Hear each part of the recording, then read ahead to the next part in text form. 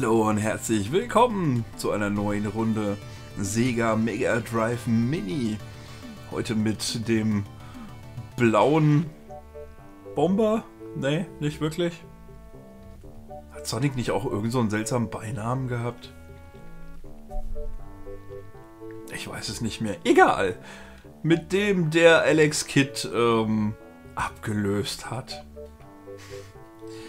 1991 das Spiel, das eine ganze Generation von Fans inspirierte. Der erste Auftritt von Sonic the Hedgehog, dieser spannende Actionwaffe, kann mit nur einem Knopf gespielt werden.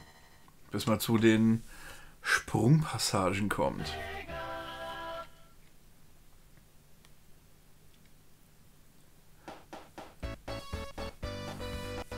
Ja, CNC habe ich alle Teile durch.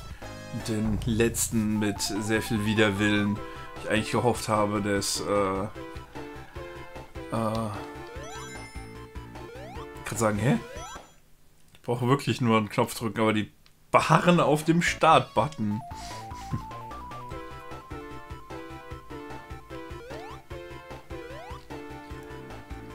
Aber Sonic ist halt auch äh, vom Design her, finde ich, teilweise ganz schön mies.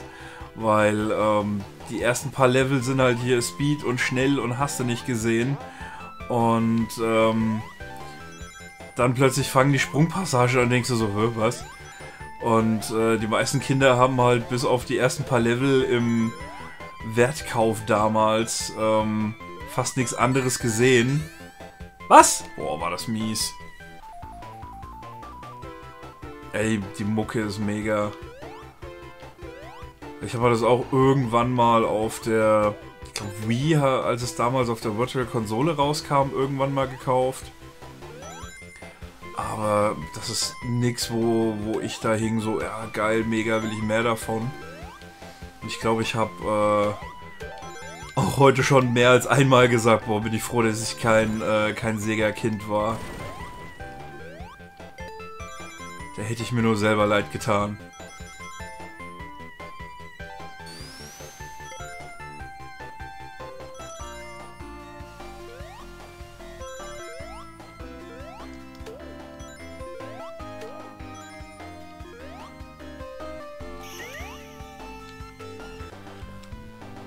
Sonic Heroes für die Gamecube fand ich gut, sonst alles eher so mehr. Ich habe eigen, ich habe nicht ein Sonic Game, außer halt was hier irgendwo Virtual Konsole ist oder sowas. Ja, hier dieses äh, ähm, neuere Sonic Ding soll doch wohl ganz gut sein. Aber ich sag mal, die, die 3D-Teile, die müssen ja wirklich Hölle ohne Ende gewesen sein, gerade für die Fans.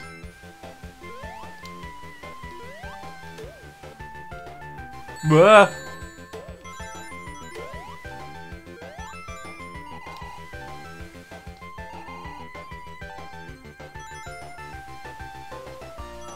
Alter Verwalter, uh. Die Stelle hier fand ich auch toll. Kriegst die Unbesiegbarkeit, aber äh, wenn du wohin fällst, wo keine Stacheln sind mit der Unverwundbarkeit, dann, dann, genau, fällst du durch den Boden.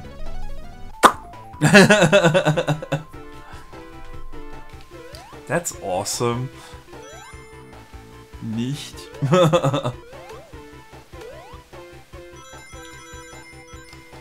allem habe ich halt auch nie verstanden, dass äh, mit den Ringen. Es ist scheißegal, wie viel du hast. Wenn du getroffen wirst, verlierst du alle. Äh, was?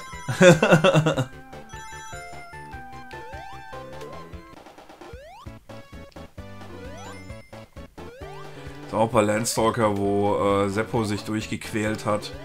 Da, da, fand ich die Mucke auch so richtig catchy. Fand ich richtig mega.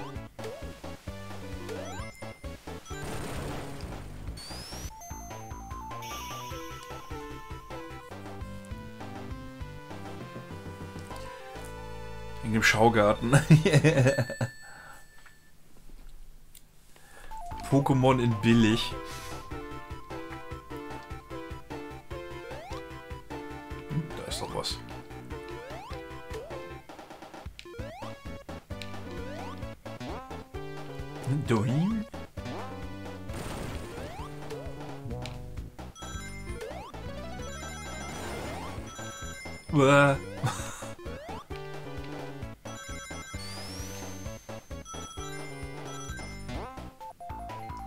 Ja, das finde ich auch toll. Nein.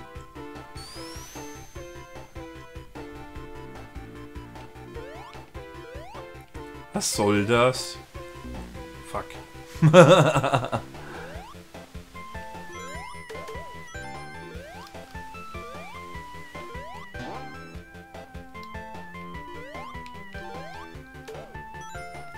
Weil Gründe wichtig.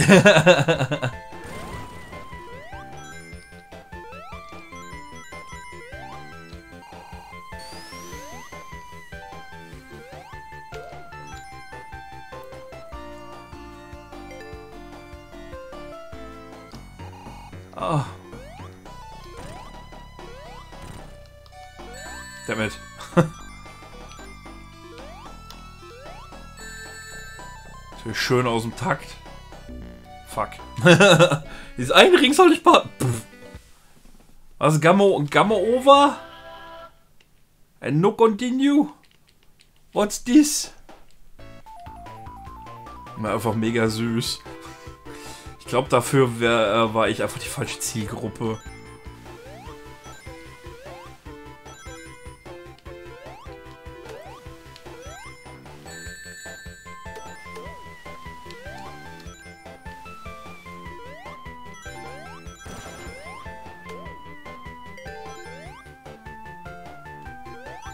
Wo? Ich muss aber auch sagen, irgendwie, ich finde Mario wesentlich geiler, auch wenn es nicht so schnell ist. Aber äh, da, das rauscht nicht einfach nur alles so an dir vorbei. Zumindest halt hier in, in, in den ersten Leveln.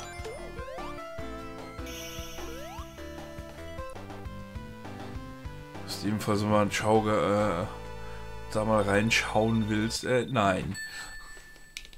Ich hab's beim Moggi, habe ich das glaube ich mal gesehen. Der Mockerich. Hm? bin am überlegen, ob wir ähm, Illusion of Time nach äh, Harvest Moon auf dem Super Nintendo spielen. Hier ist ja nichts mit draufspringen. Und äh, dann habe ich wenigstens meine Aufnahmen und kann mir mehr Gedanken machen wegen dem Vertonen von Illusion of Time, der es zwischen den Jahren wegen Krankheit ja nicht geklappt hat, das einmal durchzuzocken. Um die ganzen äh, Text und so weiter zu haben, dass ich mich da endlich mal dran setzen kann.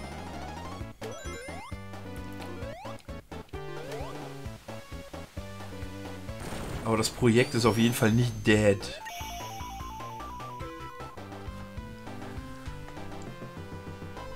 Ja, ich mag Mocky auch.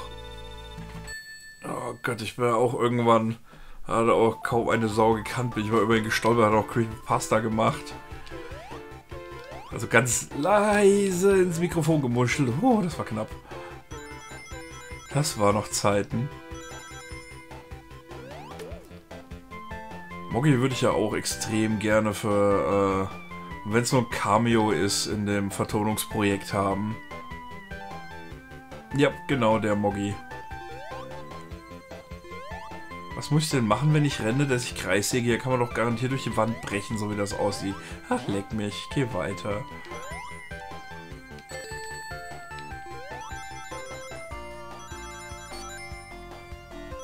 Problem ist halt nur, äh, den Du zu erreichen, ist gar nicht so einfach.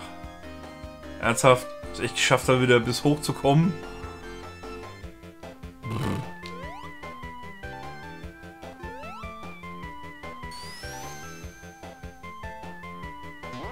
Aber bei Sonic muss ich sagen, finde ich auch das Sounddesign immerhin on point. Was ich äh, bei einigen der Teile von vorhin nicht so wirklich sagen kann. Äh. Dieses, das klingt... Ah, klingt nicht wie ein Schlaggeräusch.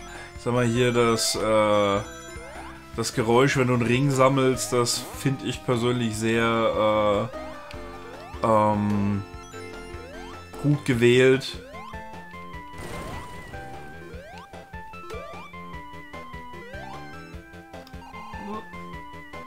Sollten wir mitnehmen, weil hier kam ja, glaube ich, der Boss. Robosnik. Oh, langsam. Ach so.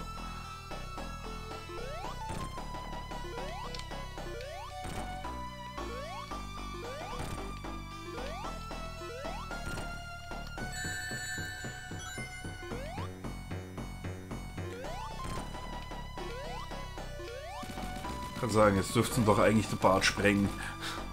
Nur die so Fire, Let's Get Fire auch sehr hust und rot wird.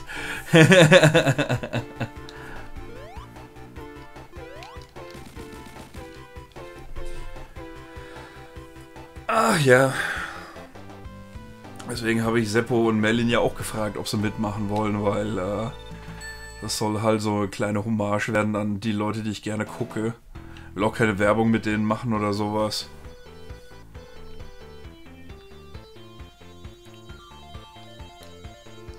Genau, ab hier fängt es jetzt an, äh, finde ich, nicht mehr Sonic zu sein, weil jetzt fängt das Plattforming an, wo man jetzt gerade auch bemerkt hat, ja, der Speed fängt jetzt an tödlich zu werden. Die Sprungweiten sind sehr schlecht gewählt.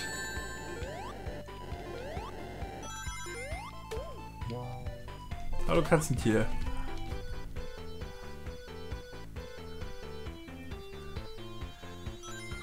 Deswegen, das fühlt sich halt einfach, äh, finde ich, sehr nach Verarsche an. Und das stört mich an, an, an Sonic an so vielen Ecken.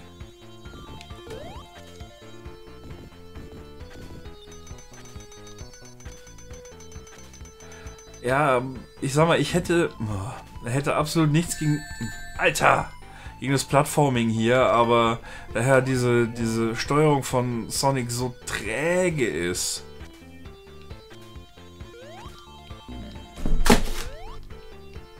Was hast du denn jetzt versenkt, Großer? Ja.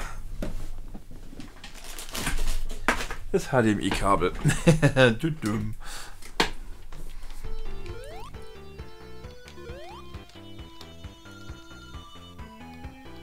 Weil dieser eine Block da oben, der nicht runterfällt, aber wo, wenn du blöd springst, genau das passiert.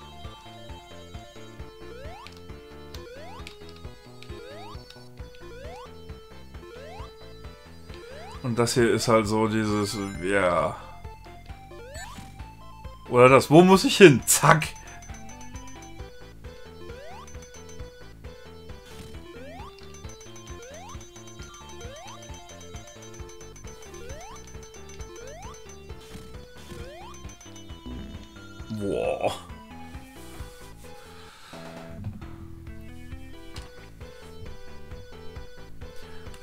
Timer vergessen. Na komm, wir machen das Leben noch fertig, dann soll es gut sein. Weil No Continue finde ich so frustig. Das verstehe ich halt hier in dem Game auch nicht. Dieses wollt ihr nicht, dass die Leute das durchzocken. Ja, ich habe auch schon sehr viele Spiele gehabt, die äh, nicht wirklich die schwersten auf der Welt waren, aber die ich direkt hintereinander mehrfach durchgezockt habe, einfach weil es so einen Bock gemacht hat.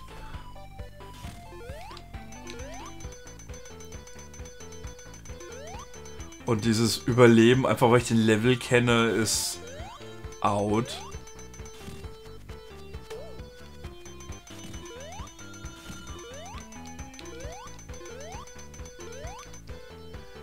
Also das internationale Pfannkuchenzeit, was? Ich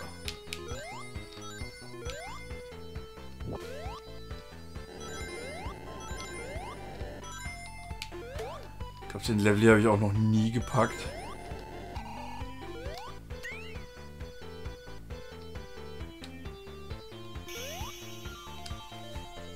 Hui. Du weißt doch jeder, okay? Nee, weiß ich nicht. Aber jetzt weiß ich es. Dankeschön. Dann äh, gibt es bei mir kein Pfannkuchen, sondern Waffel.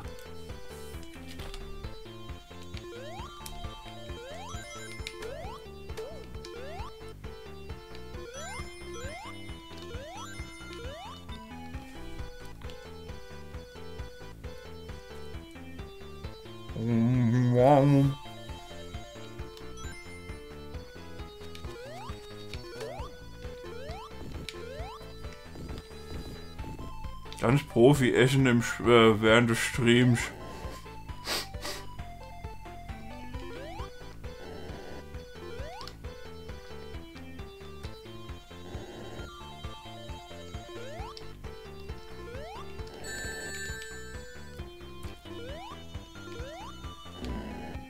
Was?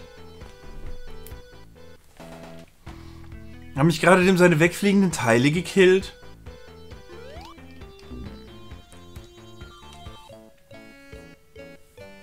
Okay.